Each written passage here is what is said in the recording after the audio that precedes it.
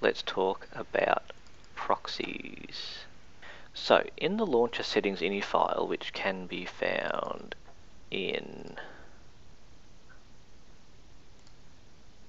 Minecraft edu launcher underscore res settings, you have a launcher settings ini file. That file you can add proxy connection. So you need to add that. So if I open this file, which on here is being a pain. So if I add those proxy address lines and those lines.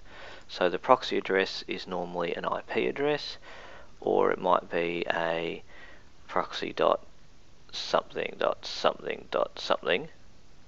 Port is normally 8080 or 800 or whatever. Again, if you're not sure about any of this, ask your technician or ask someone who knows. Um, all networks are slightly different. Make sure proxy connection type is set to all. Um, it, you can set it to HTTP if you would like, but I have found that did not work at my school. Um, so if you would like, try all. If that doesn't work, try HTTP, your proxy username and your proxy password. So if they're in the launcher settings, it will set those on both the launcher and the server tool and away you go.